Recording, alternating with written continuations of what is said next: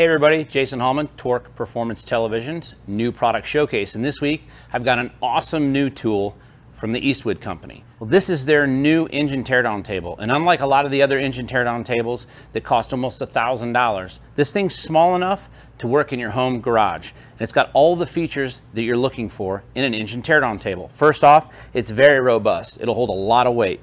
It's got a drain in the center, and it's even got a catch can for all the fluids that would come out of an engine when you're taking it apart. Now, there's two shelves there for all your engine parts, ancillary items, tools, bins, however you want to arrange things. And these things are inexpensive enough that you could have more than one. For less than $200, you can have one of these shipped to your home or to your shop. We just got this one this week here at Cycle Stop USA. And I got to tell you, it seems like it's worth every penny and then some. So go to eastwood.com and look for their new engine teardown table. This is your new product showcase from Torque Performance Television. I'm Jason Hallman, and thank you for watching. See you next week.